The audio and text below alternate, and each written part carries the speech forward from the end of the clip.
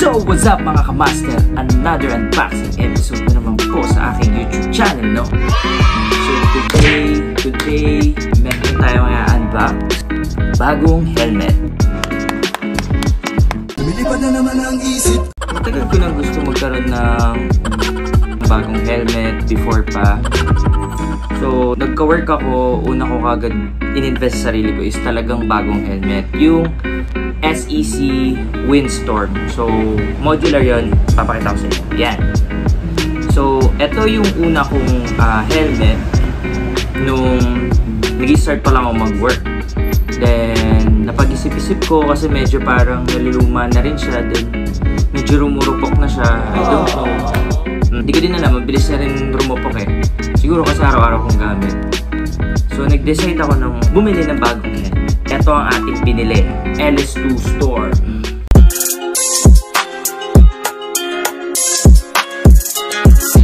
So, ito ang ating binili. LS2 Store. Then, meron pa tayong binili na bonus. So, matagal ko na rin gusto magpalit ng, ng gloves. Ito yung binili natin na gloves. Benkia.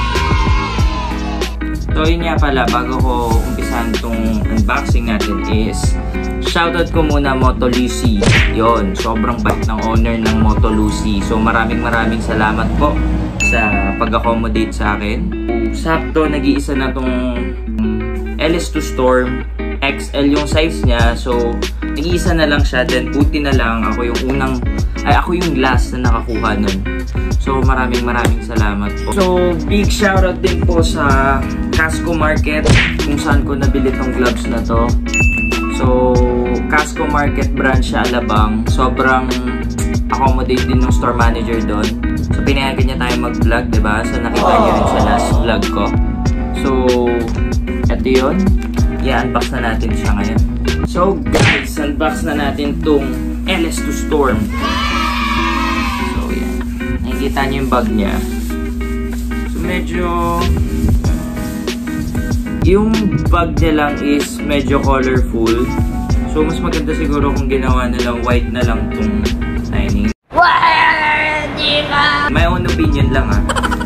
White to, then black na lang, tapos may salit, may word na LS2. Okay Pero maganda din naman, makapal kasi siya. So maganda din naman kasi makapal yung helmet bag niya.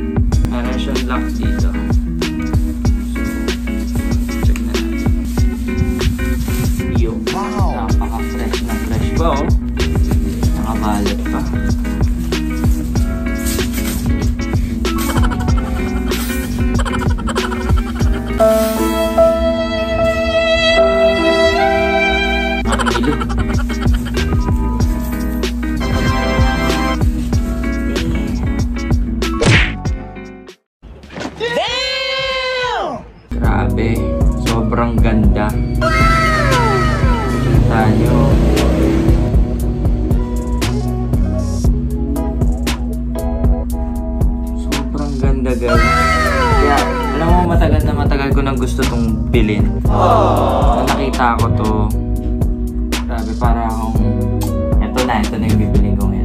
Uy, uy, sana all!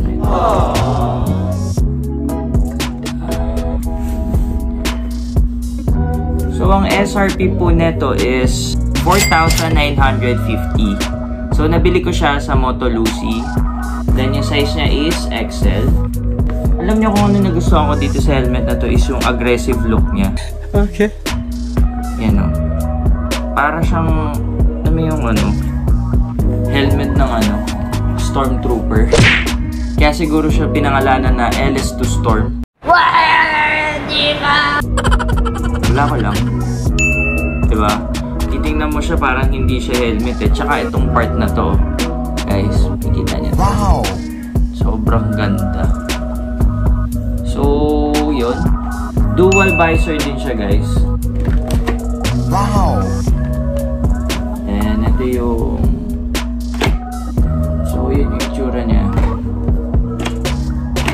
Meron na rin siyang nose guard. Yan, protection sa ilong natin. So, makapal to. Um, parang rubber type siya. So, guys, meron na rin siyang um, helmet, buckle lock, quick release. So, hatakan niya lang siya. Tanggal na siya.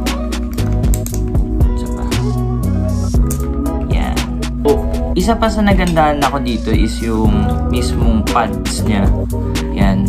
Sobrang kapal ng pads niya. Then, meron din siyang pads sa chin. So, talagang pag sinuot mo siya is safe na safe hanggang baba mo. Then, yan, sakto-sakto yung sa hulma ng Lego. Kita nyo siya dito. Then, yung dito is reflectorized. Le leather tong part na to. Then, this one is parang cotton foam. Malambot lang siya. Ito yung makikita nyo, guys.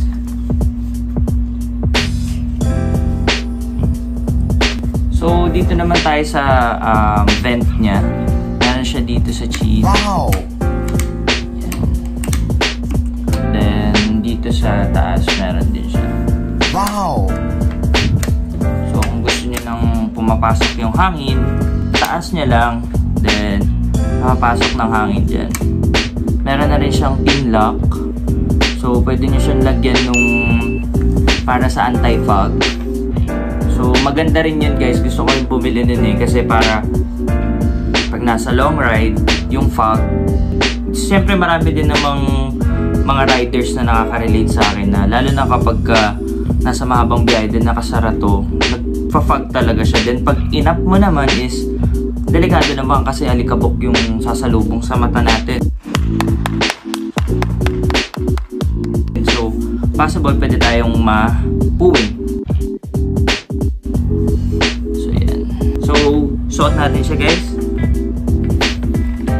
Ginagawa mo! So guys, ito yung itsura ng ating helmet pag suot.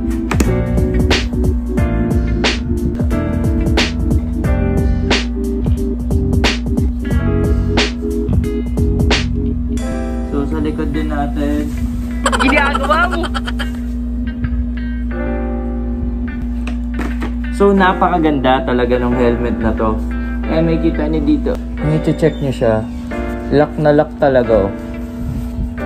Chin mo, protektado. Then, yung pads, safe na safe. Then, may kita niyo rin sa mukha ko na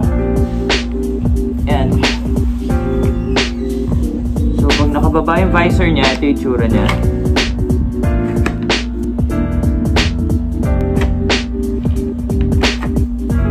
I-montage naman natin siya ngayon. Damn, Aiden, you a killer.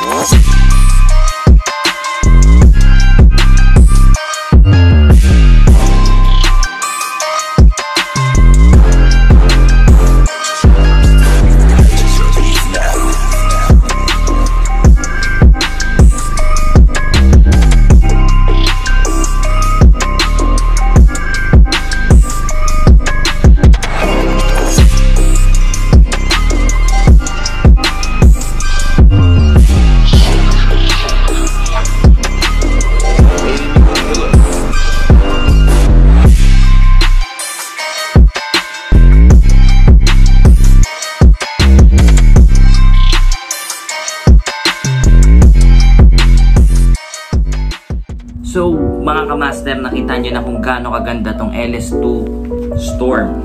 Actually, limited lang yung stocks nito. Kaya yung Moto Lucy, buti na lang meron sila neto. Sobrang hirap makahanap nito as in. So, maraming salamat Moto Lucy. So, unbox naman natin yung Benkia Gloves. So, ito naman mga kamaster ang ating i-unbox. Benkia Gloves. So, nakita nyo naman sa aking last vlog, trinade ko sa kanya yung luma kong gloves na SEC. Yun yung unang gloves na binili ko din sa sarili ko. Ito guys, unbox na natin.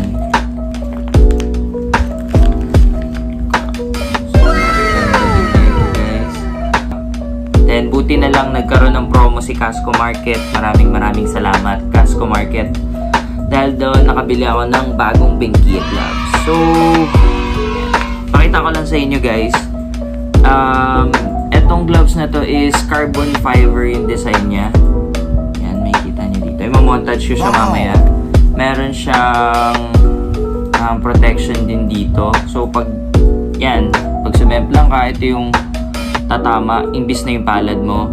Then, etong gloves na to is hindi lang siya hanggang dito. So, extended siya hanggang hanggang sa pwesto ng relo. So, yan. Mahaba siya. So, sukat natin. So, ito yung itsura niya pag suot. Ayan, hanggang dito siya. oh. Dito ako nagandaan talaga eh, yung gloves na to eh. Yan. Meron din siyang pads dito na leather. Then, meron siya reflectorized na design. Then, yung Benkia na design. Yan, reflectorized din to. Then, meron din siyang mga pads dito sa fingers. Mga kanto ng fingers. Yan. Sobrang solid. Ganda. Sobrang, sobrang sarap pa ng fitting niya. So, sa size ko dito is large. Alam ko large to eh. So, this is large. Pero yan. Meron, etong part na to is gamusa. So, etong lahat ng dulo nito is pwede mo siyang gamitin sa cellphone. Kahit, ayan, testing natin ah. So, ito.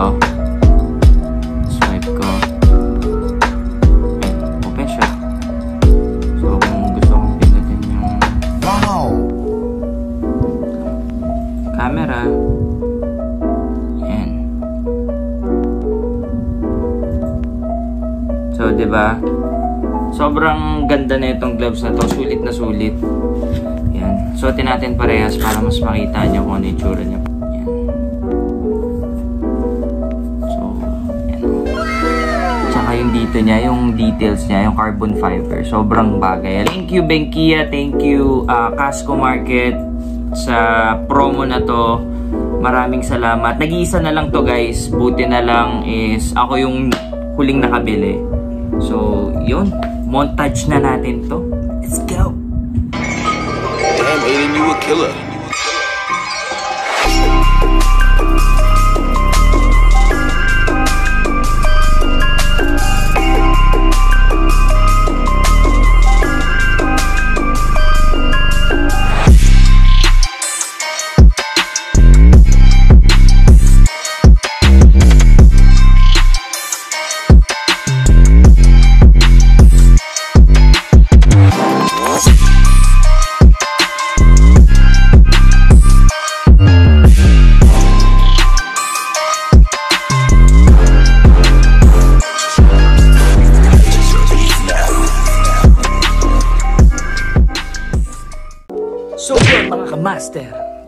Po ang ating unboxing episode sa YouTube channel. No? So, maraming maraming salamat sa mga sumusuporta.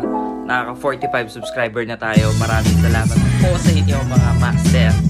At wag na wag niyo pong kakalimutan mag-like, share, and subscribe to my YouTube channel. Maraming salamat po. Ride safe. Let's go!